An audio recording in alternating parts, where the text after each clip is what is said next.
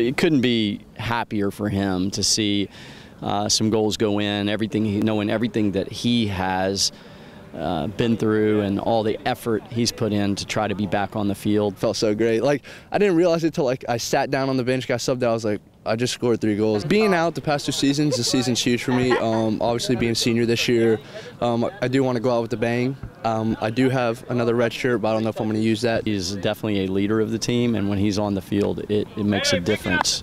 Honestly, it's it's the worst feeling. Um, I've never really had an injury in high school, so I never had to sit out.